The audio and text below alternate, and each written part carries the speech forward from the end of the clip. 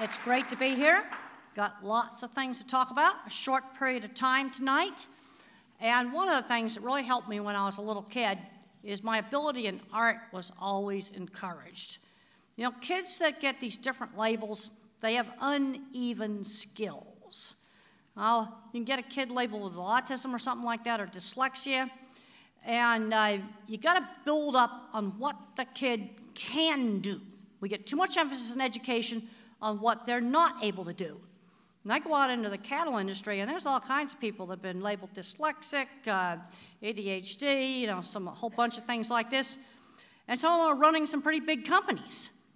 But I get worried today where some of these kids might be going. I want to give you some insight into how different minds can think about things differently. Now, when does normal variation become an abnormality? When does a little bit of moodiness become uh, bipolar? Uh, there's a lot of famous uh, people that have a uh, little bit of that trait, and you get a famous writer. People with autism, get a lot more people in technical careers. There's no black and white dividing line between normal and abnormal. I want to emphasize we can't get locked into these labels. You know, I was talking to a parent this morning and she was going, Well, my daughter's got executive function problems. I don't know, what do you mean by that? You know, let me find out what she can do. Let's, okay, reading level. USA Today, Wall Street Journal, could you read that? Tell me what's in an article? That's sort of basic reading level. What can they do? Now, I get worried about what would happen to little Albert Einstein today. Little Albert, no language till age three. Threw lots of temper tantrums like to do a lot of solitary play. He'd be labeled autistic in a lot of schools today. How about little Stevie here? This weird loner, he brought snakes to school and he turned them loose. So I like to liven up the classroom. He got bullied and teased when he was in high school. I was bullied and teased in high school. They used to call me Bones and Workhorse. When I was 15, I was cleaning eight horse stalls every day. One of the things I've learned from that is I learned working skills. I'm seeing too many kids today not learning working skills. Now, another person I need to add to this is how about Beethoven? There's a new book out right now on Beethoven. And he had a lot of, you know, weird traits. See, the problem you've got with a diagnosis like autism is at one end of the spectrum, you've got guys like little Albert here, and at the other end of the spectrum, you've got somebody with much more severe handicaps. Maybe they're nonverbal, can't talk, can't dress themselves. It's a very, very big spectrum. But people tend to get locked into the labels. I can go out to Silicon Valley, I've been there. Been to Google, been to Microsoft, I've been to Disney Imagineering. Oh, and I even got to see the secret rides. I can't tell you about the secret rides. Uh, that's something I can't tell you about. Very cool. Got to see the workshops and things. Lots of creative people working here. And I talked to some human resources people out in Silicon Valley. And they go, oh, we know half our programmers are Asperger's or mild autism, but we don't talk about it. So what ends up happening, kids that we used to just call the geeks and the nerds when I was in school, I went to kids that, to, school with kids I know are on the spectrum. One of them owns a really big business today. Now, you need to be looking at some of these personality traits sort of like a music mixing board. These are continuous traits. It's not black and white, autistic or not autistic, or maybe a little bipolar or not bipolar. It is a continuous kind of a trait. You see, a little bit of this trait can give you an advantage. Too much of the trait, and you've got a very definitely got a big handicap. Now, I'm a visual thinker. Everything I think about is like a picture in my mind. And when I was a young kid, I used to think everybody thought in pictures like me. I didn't know that my thinking was different. And being a visual thinker helped me in work with designing livestock facilities. In fact, the piece of equipment that half the cattle go in, center track restrainer system. If you want to see how that works, you can look up beef plant video tour with Temple Grandin. And there are some of my drawings. Oh, good, we got a good projector this time. when you're a weird geek and you don't interview well, you got to show off your portfolio. I sold jobs by showing off my skills. Let my work sell itself. You know, you need, people need to get a lot more into making portfolios. Yeah, you get the resume, but then show me what you really can do. And I have worked for um, 20 years. I've designed things, then you got to go in the meat packing plant, supervise the construction, to make sure they build things right. You know, basically working in the construction industry. And I think one of the things that does is it teaches resourcefulness. You got to figure out how to do things. Another big concern I've got today is a lot of students sort of floundering around. They don't know what they want to do. And I think this gets back to not, get, not seeing enough stuff as kids. Because I gave this talk up at Michigan State University, and I was asked to guest lecture in an environment class that was one of these kind of general studies courses. You get a sophomore, it's got to fulfill the science requirements, so they take this class, don't know what they want to do. And I was in this class, and they give me all these cards with all these questions. And the number one question was, well, how did you find your passion? How did you get interested in the livestock industry? I was exposed to it at age 15. That might have a lot to do with it. If I had not gone to my aunt's ranch when I was 15, I wouldn't have gotten involved with cattle. And I had an interesting discussion today down in the meats lab. And they brought some middle school kids into the meats lab. And it was so cool to hold a big primal cut of meat like this. You mean that's how meat starts out? You know, just things like that. They don't know where it comes from. They're going, oh, this is interesting. They, they wanted to play a game how long they could stay in the freezer. um, but the thing that we got to figure out is what's chores, maybe to somebody in the cattle industry, that's interesting to the public. But I think a lot of kids today aren't seeing enough different kinds of things. And I went out to my aunt's ranch when I was 15, and I was afraid to go. Mother gave me a choice. I could go for all summer or stay for a week. I got out there and I loved it, stayed all summer. Now, I used to joke around that I had a huge graphic circuit for visual thinking. Turns out that I do have a huge graphic circuit, probably in about the top 25%, though there is an art professor that's got a bigger one that's been scanned. He's got a PhD in art. And there's a circuit for um, speak what you hear. I'm not very good on the, on the auditory learning. Now that's a circuit for speak what you see. Goes from the visual cortex up to the language cortex. That's a normal one. Now there's mine. Mine's got a lot of extra branches. If you want to see the coolest one, it's in USA Today. They gave USDA Today the better slides than I got. and all those branches you can see there, they've been truncated and cut off, but those go all over the brain. So now the circuit for speak what you see has got connections all over the brain. So I put keywords into my mind, I instantly get pictures. I kind of got a like a Google for images in my head. And that's how I think. Now I pay a price for that because if you count the fibers, I've got less bandwidth for speak what you say. I had a speech delay because I had less bandwidth. You see, there's always trade offs. No, you get one thing, you lose something else. But the thing you got to look at this if you were to go out and scan 100 people, at what point is an extra branch abnormal? This is going to be a continuous trait. You know, this isn't something like, okay, look at the scan, big hole in the brain or something like that. Yeah, that's totally abnormal.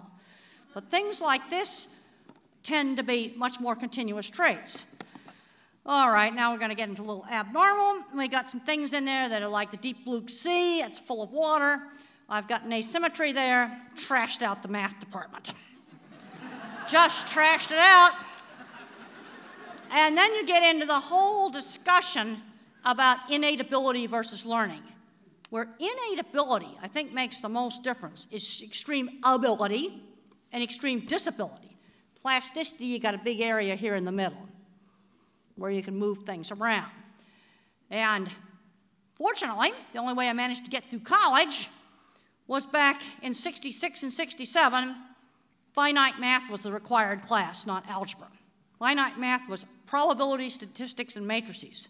And with a bunch of tutoring, I could do it. Right now, we're in this algebra craziness. Well, I'm not suggesting giving up math. They kept beating away on algebra, and I never got to take uh, geometry. Why is algebra the prerequisite for geometry when the Greeks invented geometry first? I sort of don't understand that.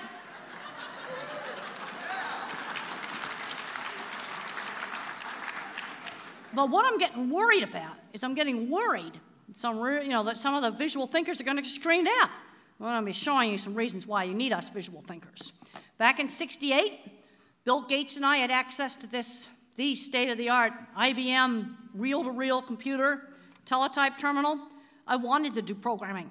I couldn't do it. I just couldn't do it. You know, the field that I work in is industrial design, you know, where you're using your visual thinking to design things. Yep, Bill Gates did computer programming. I couldn't do it. This is where I don't agree with Malcolm Gladwell. Gladwell says if you have enough education and enough access to services, you can do it. I had both of those things. Couldn't do it. Here's one of the most important slides. I'm a photorealistic object visualizer. Everything I think about is a picture. No picture, no thinking. And then you have another kind of thinker. This is the pattern thinker. That's the mathematician mind. Patterns. See, in your brain, you got circuits for what is something. That's my brain. And then you got circuits in your brain for where are you located in space. That's the mathematics mind. You might get a little third grader. Well, they want everybody to be the same, so they don't let the third grader do the college math book, and now he turns into a behavior problem. Yeah, let him go ahead and do the college math book, but he's going to need special ed and reading. That tends to be the pattern. Then you got other people that are verbalizers. You see, I'm finding now, I'm realizing over the years, that having been involved in a career where you design something and then you build it, it's all about an outcome. You got to make a project work. Construction industry is all about outcomes. You got to get things done. Well, what's a good outcome in education? You get out, you have a good career that you like. Stay out of trouble with the law, don't go to jail, and certainly don't end up playing video games on Social Security.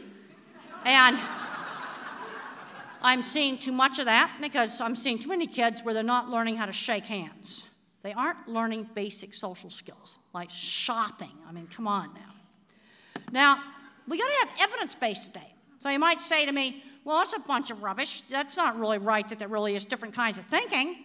Well, here are the scientific studies that show that uh, this is right. This is in my brain book. It's called The Autistic Brain, and I got the evidence base for the different kinds of minds. And now I'm going to show you how the different kinds of minds can work together. Okay, mathematics and algebra fanatics, I'm going to show you why you need my kind of mind. After, after I explain that there's a verbal way to do the algebra and the more visual spatial way.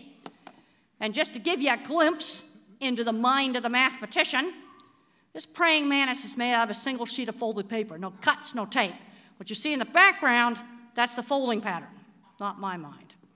There are some other cool origami things. Always like to show drawings off because when you're a weird geek, you got to sell your work. And this is a really beautiful bridge drawing that a lady that's more at the moderate level made. Now, I want to emphasize abilities have to be developed. And when I was in third and fourth grade, that's when my art ability started to show up. I wanted to just draw the same horse head over and over again. You've got to encourage the kid to do lots of different things. Take that fixation on horse heads and broaden it out. Well, let's do the entire horse. Let's draw it stable. Let's draw where you ride the horse too. Make an associative link. Because Jessy Parks now is selling her artwork commercially, but she had to get onto subjects like houses and bridges because before she drew electric blanket controls. That's not exactly something that people want. And here's some uh, more gorgeous artwork. It's a guy named Grant Manier here in Texas, the eco artist. About two years ago, I looked at his art and I said, You need to show professionally. Get out of the autism silo and go to a professional art show. Now he's selling professionally. And you know what? He's getting more social because he's gotten out and he's had to talk to people. People ask me, well, how did you get good at public speaking? Because I did it. Let me tell you a little secret. When I was in graduate school and I did my first talk, I panicked and walked out. Yep, that actually happened. All right, now we're going to get back to why all the mathematician fanatics need to have us visual thinkers. Here's a nice mess here. You don't want to get near this. This is the remains of the Fukushima nuclear power plant. And I like to read on planes. So I could get all these papers, I get all these business magazines, and I was reading them. And when I found out, after reading all of this stuff, why Fukushima melted down, I'm going, how could they do this? How could they have made this mistake? A mistake so basic. I can't design a nuclear reactor. But if I had been drawing up the concrete work for the foundation of this plant, and I'm perfectly capable of doing that, I go, wait a minute we're by the sea. And all the emergency generators and emergency equipment is in a non waterproof basement. I'm not kidding. The basement flooded. That's why three or four nuclear reactors melted down. All he would have had to have done to stop this watertight doors, crank them shut, you know, like on a submarine.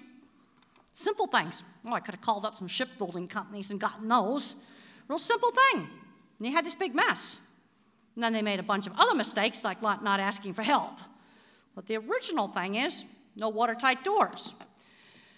Now, there's been people that have discussed, well, you know, maybe some things in, in school are worthless, like, you know, one governor of a state, not Texas, I will not mention what state it was, he wanted to have the state university charge more money for a humanities major than for an engineering major, because humanities majors weren't worth anything. That was two years ago. We won't say what's, we won't embarrass the state. Well, Steve Jobs was an artist. He wasn't an engineer. You see, when you make something like the iPhone, every time you take out that iPhone or, or the, all the copies, the Samsung, and oh yeah, they're suing each other over that. Uh, Steve didn't um, uh, want to go thermonuclear on Samsung.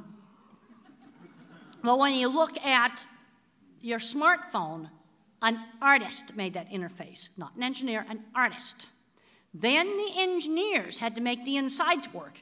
In fact, when Steve Jobs showed off the very, very first cell phone, very first smartphone, it hardly barely worked. He had to practice the order of how he demonstrated it so it wouldn't freeze during the demonstration. Well, I think this is interesting. It was in the Chronicle of Higher Education. The connection between Steve Jobs and so called useless humanity programs such as calligraphy should not be ignored. This also brings up the whole idea of busting out of silos. I like doing some cattle talks, I like doing uh, some autism talks, I like doing general kind of talks, we go out to Silicon Valley, see what's going on out there. Maybe go to a gifted conference, seeing little geeky, nerdy kids going down a good path there. You know, it's, it's, yeah, coming out of the construction trades, it's all about outcomes. And I'm seeing too many kids playing video games on, you know, getting a disability check for play video games. Uh-uh. Need to be programming, programming games, not just playing them all day. Now, the thing is, you read the really good literature, it actually helps you on social skills. Not the junk they have at the airport, the good stuff. All right, the very first work I ever did with livestock, I noticed that animals saw visual detail. And I kind of blew my mind that other people didn't notice it. Oh, they'd spook at a chain hanging down. They'd spook at a shadow. They'd spook at a car parked next to a corral. Like little things we tended not to notice. And I go, why don't other people notice that? All right, how many people noticed how that animal's locked onto that sunbeam like radar? Yeah, visual detail. That's what they're all about. I'm always getting asked, are they scared of getting slaughtered? They behave the same way at the slaughterhouse as they do on the ranch. Then you got to look at things like what are the ears doing? Horse and the zebra have an ear on each other, and then he got an ear on me. Watch those things. What's okay? Most of my students will point out that there's a chain hanging down there at the slaughter plant, but they don't see the three people standing where they should not be standing. Yes, like obvious, like it's not a good idea to put your emergency equipment in a non waterproof basement. You know, the thing is, sometimes the most obvious is the least obvious. And why, would, why do the mathematicians not see it? You know what I'm finding? It's not stupidity, it's different kinds of minds. The mathematics mind doesn't see it. Now, there's some evidence that language covers up things like visual thinking because there's a type of Alzheimer's, and as the um, language gets wrecked, art comes out. And when Van Gogh was painting Starry Night, some statisticians got a hold of this and found out he was putting some mathematics into Starry Night. I think that's kind of cool. Now, my thinking's bottom up. Most people think top down. You make a hypothesis, you try to cram all the data into it. The normal mind tends to overgeneralize. So the kid gets a label like dyslexia or autism, and they go, oh, can't, totally handicapped. Well, I don't, I, I, I have the point, I don't really care what the label is. All right, let's find out what he can do. What is he good at? Where does he have a problem? You know, let's look at where the problem is. I don't care if you're troubleshooting a behavior problem or, or a problem with a student. Where's the problem? Don't overgeneralize. Everything is learned by specific examples. See, I'm a bottom up thinker. Understand something in the future, I got to compare it back to knowledge in my database. You got to get these kids out and get them doing stuff. You know, too many kids today are becoming recluses in their room. Uh uh Okay, I want to teach something simple like this, like position words. Well, you got to learn that this position word down, it applies to many different kinds of situations, as I show here on this slide. Got to show the different situations. Also, my thinking's associative. I just went to a creativity seminar at the American Psychological Association in Washington, D.C. I was just there last week, and they were talking about creative people, you know, they can think up more creative uses for brick than throwing it through a window. And I actually got that, um, that test from my science teacher, Mr. Carlock, my great science teacher, got me interested in studying. You know what he thought up for creative uses of a brick? You can cut it, cut it up into little tiny cubes and paint dots on it and have 200 brick dice. I thought that was pretty clever. so, when I think about airports, you know, like, you know, associative, okay, start thinking about airports.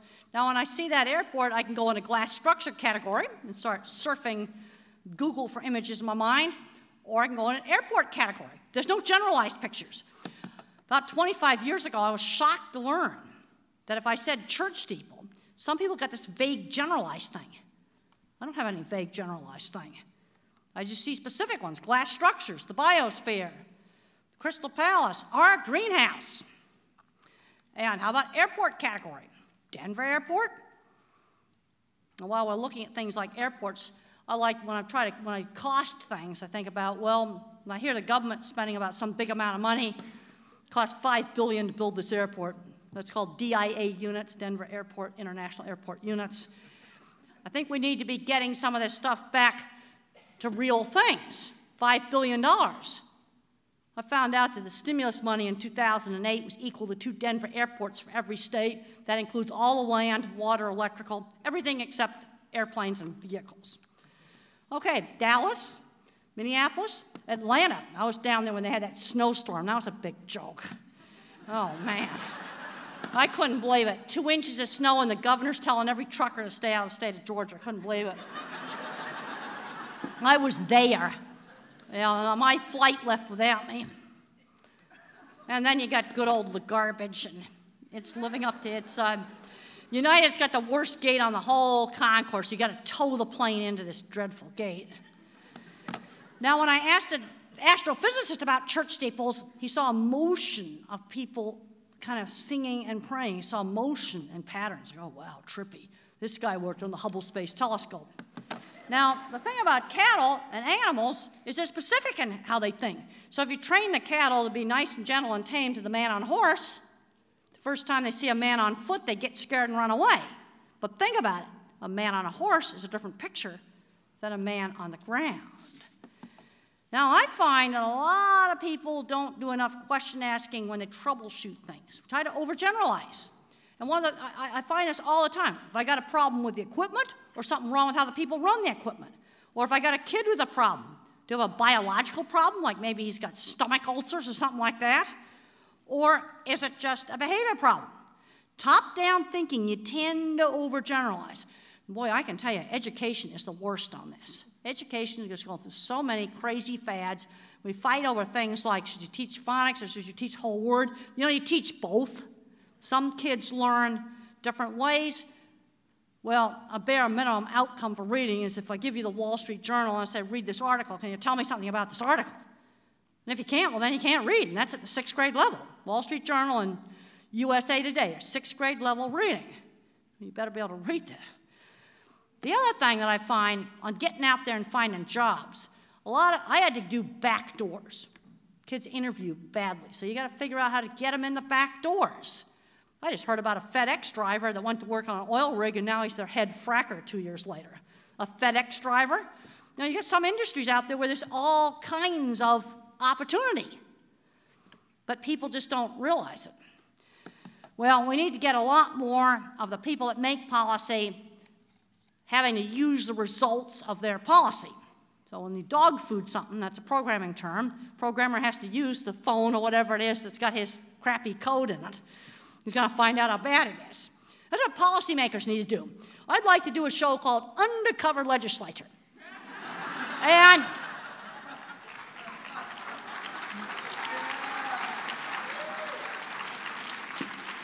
got this real special trailer all set up just for you. And we're going to drop you off with a, um, you got your, your wallet, and we're going to give you a Visa card, debit card, $50 on it. You've got a car with this much gas in it, and your Walmart pin is in the trailer. You're reporting to work tomorrow at 8 o'clock. Check stand. And we're gonna, you got to find out a lot of things doing that. now, here are, here are the um, people that put the Mars rover on Mars. Well, you look at the guy there with the long hair, he was a theater major. I'm getting really concerned about, you know, schools have taken out so many different career things like art, music, theater, uh, welding, automobile shop. We have a shortage right now in this country of certified welders and um, auto mechanics and diesel mechanics. You know, there's, a, there's going to be great jobs for some kids. But, you know, to get kids turned on to things that be great jobs, we got to expose them in middle school. And like, oh no, health and safety, we can't take them in the meat lab. Now, I agree, I wouldn't let them handle the knives. But okay, they get to pull the string that opens the door and um, hold some big chunks of meat and go find out how cold the freezer is. I mean, that's stuff that you can do safely. And you know, it gets kids turned on. You know, because if you don't show kids interesting stuff, they don't get interested in interesting stuff. And after I did that talk up at Michigan State, in this class where some of these undergraduates are kind of just floating around not knowing what they wanted to do. Realized how important it was to get you know the, the okay i got exposed to the cattle industry at age 15 wouldn't be in the cattle industry if i hadn't been exposed to it. Now some brain scan research showed i was more interested in looking at things and looking at people but we need people in this world interested in things. Tesla who invented the power plant would definitely be labeled autistic today now, one of the things you got to do to help the kids that are different, that have these labels, and I'm talking especially, you know, one of the things I find is a problem. Teachers have a hard time shifting gears last time between somebody nonverbal with some very severe handicaps from somebody that's uh, just kind of geeky and awkward socially. You got to stretch these kids. I'm seeing too much coddling, too much helicopter parents. I'm at a meeting, the 10 year old walks up and he doesn't know how to shake hands. Also, instead of telling me about that he likes to show cattle or something like that, all he wants to do is talk about his autism. They're getting way too much into their handicap. When I was 10 years old, I was too busy and you know experimenting with kites. And when I was seven and eight years old, I was experimenting with bird kites behind my trike. Nice wings with little wingtips, just like a commercial jet's got. I made those when I was seven and eight years old. And I experimented for hours taping the wings with different amounts of adhesive tape to get it to fly right. That's the kind of stuff I was interested in. No, I don't. Autism's important for who I am, but it's secondary. In fact, now at this stage in my career, you know, some people say, why don't you just let autism just take over? I go, no. I think it's important they still have a real job. And what I've been spending a lot of time on is teaching a lot of short courses. I was just in Germany um, working for McDonald's, teaching a short course on humane slaughter methods was in China doing the same thing. I'm a PAACO instructor. I don't even get paid to do PAACO instructor. That's professional animal auditor. I, because let's get, let, uh, get students exposed to different things. You know, I had a great mentor when I was in college. Um, the other thing is kids have got to learn work skills, and this needs to start at 12 with paper routes. if we don't have paper routes, I know we don't have them anymore. How about walking dogs to the neighbors? How about something like setting up ch- uh, chairs in the church every Sunday? Eight year olds can be church ushers. You know, we got to get them out away from the home, get them learning some of these skills. Kids aren't doing free play. Well, and free play teaches resourcefulness. I had a fascinating discussion when I went out to visit the uh, Jet Propulsion Lab. Um, I had a lady pick me up at the airport, and she had a walnut farm, and she'd have 11 year olds, 10 year olds come out and camp out in the walnut, walnut orchard, and we take away all their electronics. And she said an interesting thing happened.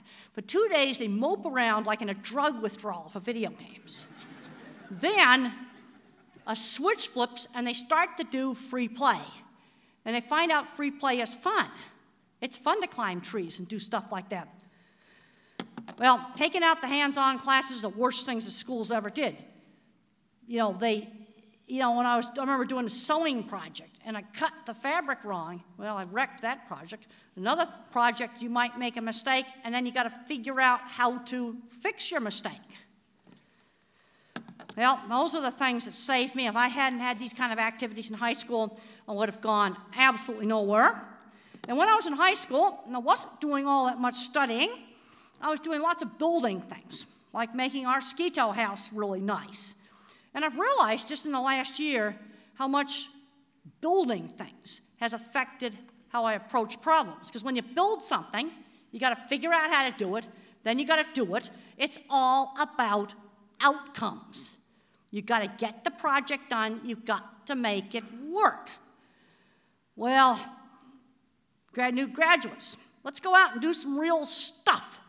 I was kind of horrified to read uh, about a book review of a book that just came out that, you know, in some of our elite universities, the main thing the students want to do is like go into like Goldman Sachs or something like that. And, you know, then the financial industry spends $20 million on a fiber optics cable to game up the um, commodities market.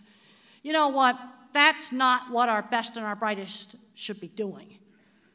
I'm a child of the 50s, man. Boy, we built the interstate highway system. I did it right next to my house. Really cool. 60s, we went to the moon.